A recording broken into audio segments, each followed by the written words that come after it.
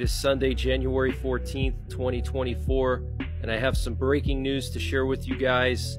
Right now, it is 9 p.m. Eastern Time here in the United States, and we have some major breaking news coming in from the Middle East and from Europe. So, Britain is going to be deploying as many as 20,000 troops to Eastern Europe and Germany's army is reportedly making preparations for a potential Russian attack. We have a U.S. aircraft carrier that's going to be going to the Western Pacific, which would be the third aircraft carrier in the Western Pacific. And this was an unscheduled deployment. The USS Theodore Roosevelt quietly deployed on Thursday to the Western Pacific. And I find the timing to be very interesting considering all the tensions on the Korean Peninsula. North Korea fired hundreds of artillery shells at South Korea over a week ago, and they're testing new missiles. They just tested an intermediate range ballistic missile last night.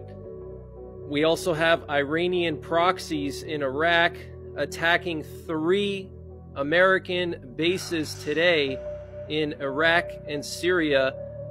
They attacked the Erbil base in northern Iraq. They also attacked the Kharab al-Jir base and also the Conoco patrol base in eastern Syria. So, three American bases attacked today by Iranian proxies in Iraq and Syria. And what you're looking at here is the official document that was put out by the Islamic resistance in Iraq. They're the Iranian proxy that attacked these three bases using a combination of drones and missiles. And here's the actual translation. So get prepared guys. I think we could see all these different fronts just open up all at the same time. I think we could see russia and nato going to war over the Baltics this coming spring and summer.